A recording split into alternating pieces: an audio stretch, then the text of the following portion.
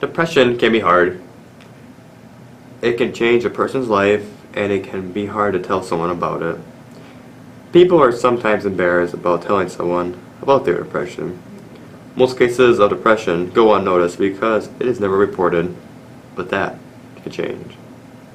Report your depression to an adult for help, or an even greater option, your school counselor. They are the people that can provide you with the help you, you need and to help you calm your mind.